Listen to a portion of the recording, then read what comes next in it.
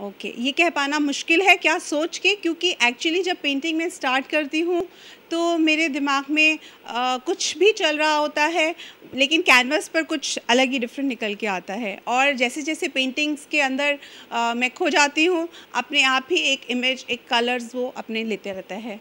और final product जब बनता है तब तक तो बहुत कुछ मॉडिफाई हो जाता है।